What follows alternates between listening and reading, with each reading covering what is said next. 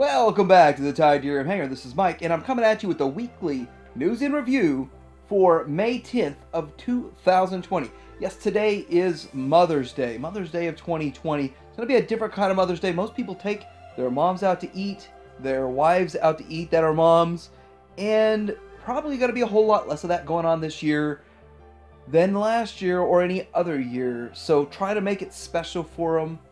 Try to enjoy your Mother's Day. And let's get right into this.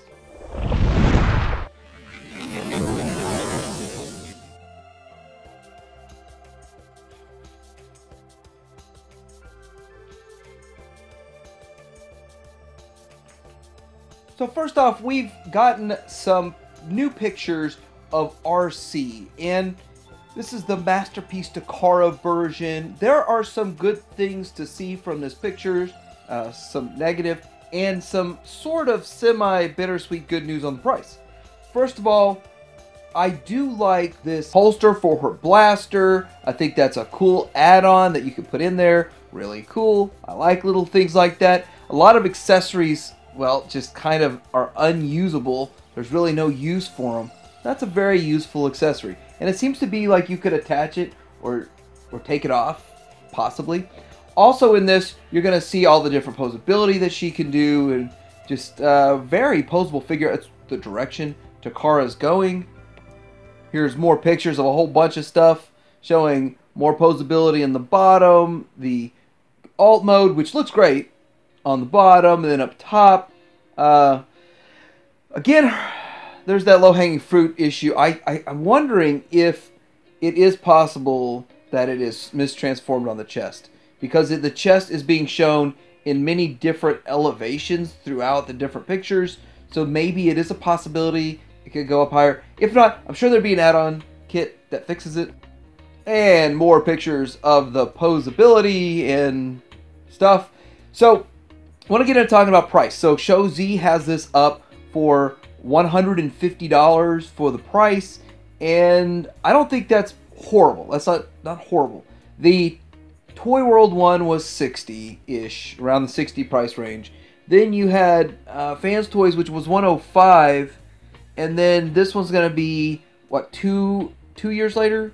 Yeah, two years later, and it's gonna be 150, and it's Takara, and Takara price is just usually astronomical. I think that's within the realm of reason. Now that's from Show Z's price. Now I don't know what TF Direct or uh, TF Source or Chosen Prime or the US ones, what their price is going to be. And on top of that, right now there's they're, they're charging additional shipping. Yes, I can't even get out of the additional shipping. It's just what it is, the way it is.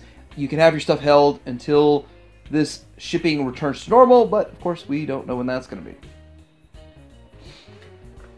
Next up, we have our first look at a KO of Hound, the Takara's Hound KO. And obviously it doesn't have all the paint deco on it. It's not fully decked out, but it seems to be the exact same thing, right? And there's a couple of interesting things about this guy. This Hound is already sold out. It's been up for one day for pre-order, and it's already sold out. Now the thing about this is a lot of people complained about Hound. They they either didn't like the aesthetic, a break issue, breakage issues of it, and all of this stuff. Yet, all the complaints about it and the complaints about the price, and this thing sells out. The KO sells out. Here's the funny thing about it. The KO sold out, the official isn't sold out, and this is going to be $70. Plus, you're going to have to pay 22 in shipping. So, that's still, that's going to be $92. And from I got mine from Amazon Japan, official one, for 128 So, it's not a huge, massive savings like we've seen in the past with KOs, but it is considerably cheaper, like a third less on the price, or maybe a quarter less on the price. But it's sold out almost instantly. Now, I'm also concerned about the fact that there is no die cast in it. I re really feel like if they made some of the parts that are problem areas die cast, they wouldn't break as easy. And that was my concern. Now, hopefully, the plastic is more rigid and can handle uh, can handle more than the original one. Who knows? But there are some concerns. I was hoping for diecast. We're not seeing the diecast, and uh, it'd be interesting to see when this comes out. I don't have a pre-ordered yet because by the time I got to it, it was already sold out. So I've seen this in multiple places that the MB-15 Naval Commander pre-order starts next week from Fans Hobby. So if this is something that you're wanting to get, you might want to jump on the pre-order uh, right away. It seems like this is Fans Hobby's biggest project they got going on right now, and it looks to be massive. So uh, just heads up, if you want to get this thing, start looking at the pre-orders. Don't miss out on the pre-order like I missed out on the Hound pre-order. Now, for those of you that don't know, Iceman should be arriving to your third-party distributor, local third-party distributors, any day now. It's incoming to Show Z. It's probably going to start showing up at all of the U.S. retailers soon. So if you have a pre-order for it, then you should start seeing that you'll need to pay for that and get that thing shipped. But the other thing is, if you haven't pre-ordered it and you want it, and it says pre-order sold out, start watching those sites daily because there is a chance that you might be able to snag one up. Maybe somebody decides they don't want it, they don't pay for their pre-order or whatever, and it pops up. There's an opportunity for you to get one at MSRP. Now the MSRP on this shot up from the 115 to 130 everywhere. Some places even 135. There's also rumors, well, I guess it's confirmed now, that Target's going to be carrying the movie masterpiece Starscream, and they're going to be charging 150 for this. It's going to be a Target exclusive masterpiece. I wish Target would do Target exclusive G1 masterpieces also. You know, that would be awesome. It would be just outstanding. Let's let's let them pick up Hound. Let's let them pick up Arcee. Let's let them pick up these figures going forward. That would be great. Speaking of movie masterpiece Transformers, New Age is making their XM01 Mista, and uh, it's up for pre-order at Show Z right now. And I, I think I missed the whole everything about this. I didn't even know New Age was making a figure that was masterpiece scale, near masterpiece scale. I don't know. It's almost seven inches, so I think is that that seems bigger than a chug, and it would need to be in the masterpiece scale. So it looks it looks like it's sort of spot on. New Age does great work, so if New Age could penetrate into the masterpiece, wouldn't that be outstanding? It's showing here with a Laserbeak and a Ravage. Looks really cool. Uh, hey, it's up for pre-order right now at Show Z if you're interested in this thing.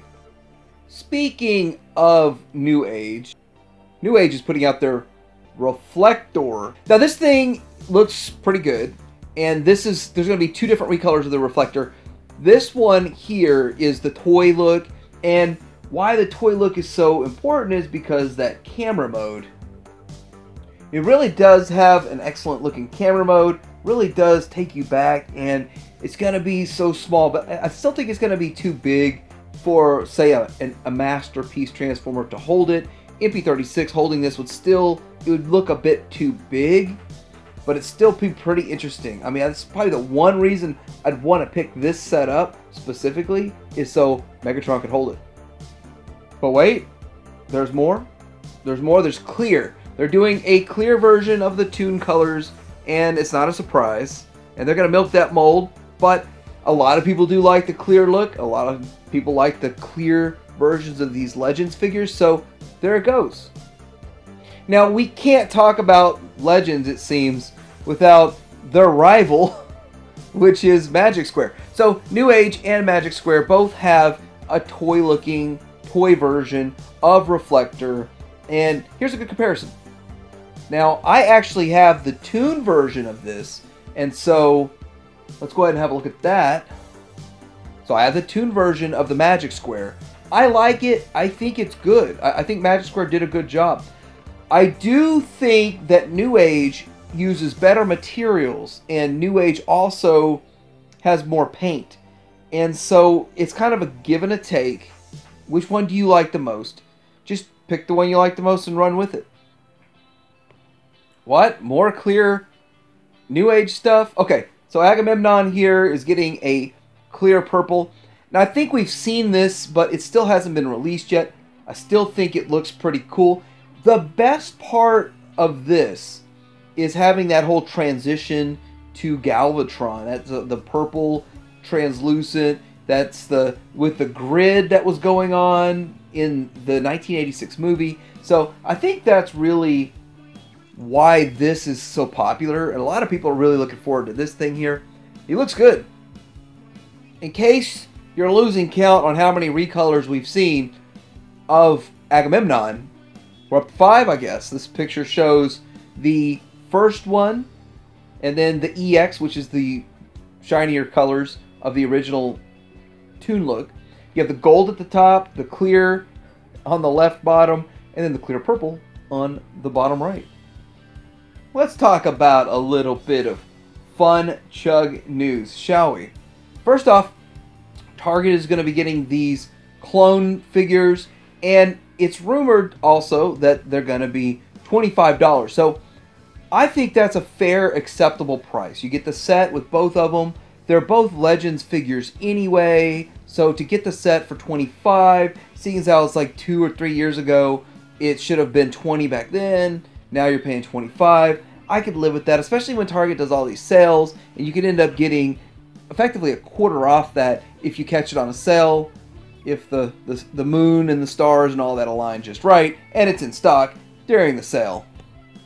There's been more Super Sleuth Chug information getting gathered about a two-pack box set of Earthrise version of Iron Hand, Iron Hand, Iron Hide, and Prowl.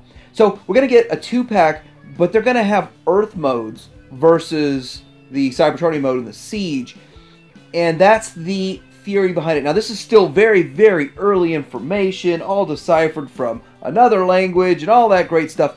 But the cool part about this is I always felt like we're gonna get a better looking Ironhide. I always did. And then I'm also thinking that well, we already know we're gonna be getting an Earth mode of these uh, these Autobot brothers. So this set would be awesome. It would make a lot of sense. It would be great. And how much would this be? Would this be another twenty-five dollar set, or would it, no? This could be like a forty dollar set, right? Forty? Hopefully not fifty. I hope it's not a repack of Siege, though. I, I have to throw that out there. Hope it's not just a repack of Siege and a recolor, kind of like what Walmart's doing. Getting into some Star Wars news, so now there's a confirmation that there's going to be another Star Wars film in the works. They're not letting us know what era it's going to be from, so there's not a whole lot of news to report, but there's something in the works, obviously. And they're also talking about another Disney Plus franchise, so I know we've heard of the Obi Wan one. I don't know where that's going. We heard of a Boba Fett one. Don't know where that's going. But we do have confirmation that Temuera Morrison will be reprising the role as Boba Fett. Well, he was Django Fett in 2002. But it's pretty exciting. Gonna be in The Mandalorian, so I'm not really sure how they're gonna work that out. That's really gonna be an interesting development. I'd love to see this. Of course, to be a lot of fan service going on right there. Pretty exciting. Little bit here and there dropping about what's going to go on with season two of Mandalorian. So last week was a really big week leading up to the fourth, and not a whole lot happening after that. But now it's all about can you catch a pre-order for these things? Right now on Amazon, you can pre-order the Zuckuss and the 4-LOM. This is the six-inch Black Series version. You can also get your Han and Carbonite See, this is just the Carbonite block, and it's $15. You can pre-order it right now on Amazon, and I think it's really good that they're they're putting this out. Like people have been wanting this for a long time, and to get an official one, outstanding. Really great idea. I'm also hearing that Wave 2 of the Black Series is starting to show up, or should be showing up. So here's the fun part in this. Wave 2 40th anniversary of Star Wars when they did this back then. Wave 2 was the hardest one to find, and Wave 2 never showed up. So Wave 1 was everywhere. You could get it everywhere. You could still get it after Wave 2 came out. But Wave 2 almost didn't show up anywhere. So you might want to pre-order it. If you want this, you want to pre-order. I'm also hearing we're going to get solid case packs of the Rebel Soldier. So that's awesome too, because that's the new figure, the only new figure. The rest are repacks. Vader's also up for pre-order. And you know, here's one thing about these carbonized figures. I think that GameStop has pretty much all of them. You can pretty much get all of them at GameStop if you didn't already pre-order them at other places. And they require $5 down if you can call your local store, pre-order it, and then you got to go up there and they'll come to the door and you pay with a chip. That uh, that's how I understand that that's working at GameStop. So don't forget about GameStop. Also, I'm starting to hear from several Walmarts because I do visit quite a few and I talk to quite a few people about it that there should be a restock or a reset of these coming. The retro collection, if you missed out on the first wave of them, or not really a wave, the first uh, shipment, I guess, there's going to be another shipment coming, so don't freak out. But then again, the second shipment will probably be just as hard to get as the first one was. And now you got to wait in line for 30 minutes to get into a Walmart. that makes it harder to check. So one interesting thing that happened over the week, and it happened fast. It, like it happened real fast. I went ahead and pre-ordered this from the Disney shop, and it's diecast. It is the Imperial Probe Droid. I think it's going to be bigger. I think it's its own mold, not the same as the Black Series. When I get this in, I will do a comparison of this one to the Black Series one because I really do like this. I think droids need to be made of diecast. Droids need to be made of metal. You know, I'm okay if the human characters are made out of plastic. But I want my droids made of metal. Oh, I want my Transformers made of metal too, of diecast. I mean, I can't get that, but I can get this. And so for $27, it was actually priced cheaper than the Black Series version. It's I think it's going to be way better than the Black Series version. And the next day when I looked at it again, it was sold out. Like it sold out overnight. I'm glad I got mine. And we're expecting to get this game, the Hoth Ice Planet Adventure game with your Luke Skywalker. And here's the thing. I absolutely cannot stand the fact that they're packing this in a game. There's only one good thing about it. That card back should be super pristine. And when I buy this thing for like seven bucks on clearance, uh, I'll have a pristine card back for my Luke. But I really don't care about the board game myself. I know a handful of people might. And I know, like, we have the other board game. My, my kids don't even want to play it. They play Monopoly and a few other board games. They don't want to play any of these Star Wars board games. And I, I kind of understand. Lastly, we got Hot Toys doing a couple of real cool looking, retro looking figures. And here is a Boba Fett. This is a very nice looking Boba Fett. I like the way he looks. It does give you this retro box. Love it. It looks beautiful. Uh, I'm pretty sure this is going to be a hit. Again, we have a Darth Vader and lots of Darth Vaders always. It always seems like we're going to get a Darth Vader all the time. But this, look at all of the different hands and all the different options that come with it. I mean, of course, it commands a hefty price. I didn't find the price on this just yet, but they usually run like, what, what around $300, something like that? Oh, wait, only $255. That's awesome. Yeah, it's been a pretty light week of news, but still a lot of things going on all of the time. What did you like about this week's news? Hey, what happened this week that I missed? Like, subscribe to Tydirium Hangar out.